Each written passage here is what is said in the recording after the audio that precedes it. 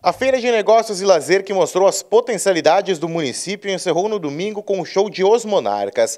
Na abertura oficial na noite de sexta-feira, as lideranças destacaram os objetivos do evento, que marcou os 31 anos de aniversário do município. A gente está feliz em poder confraternizar esse momento importante em que o município eh, pode eh, dispor de um evento como esse, com tantas autoridades importantes aqui juntamente conosco nessa festa e queremos de fato demonstrar através da feira o que o Três Arroios tem eh, de melhor em todos os segmentos, na agropecuária, na agroindústria, no comércio, na indústria, nos prestadores de serviços e também é, brindar com a região, brindar com os nossos munícipes, com todos esses shows gratuitos que nós queremos é, oferecer para nossos visitantes. Então é um momento muito especial.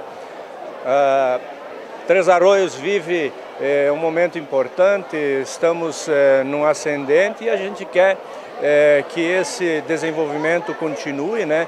E que nós possamos, num evento como esse, proporcionar mais negócios, consequentemente um desenvolvimento melhor para o nosso município. É uma, uma feira bastante diversificada, é, contamos aí com a presença de mais de 130 expositores é, dos mais diversos ramos, comércio, indústria, agropecuária, máquinas agrícolas, é, uma excelente praça de alimentação, uma estrutura é, totalmente remodelada em relação à última feira que a gente fez no município.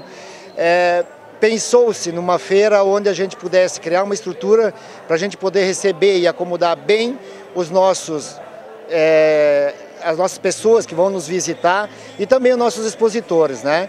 Então, no conjunto, a gente pensou em criar um conjunto harmonioso onde é que a gente pudesse realmente mostrar as potencialidades que o município, não só o município, mas a, a região também tem. E a gente conta assim, ó, com a, vai contar com certeza com a presença de muitas pessoas aqui na nossa feira. Nos estantes, o público conferiu o melhor de Três Arroios nos setores de indústria, comércio, prestação de serviços e agropecuária. O ponto alto da programação foi o show da dupla Gian Giovanni. O público não pagou ingresso e cantou junto com os irmãos que sabem do que os gaúchos gostam.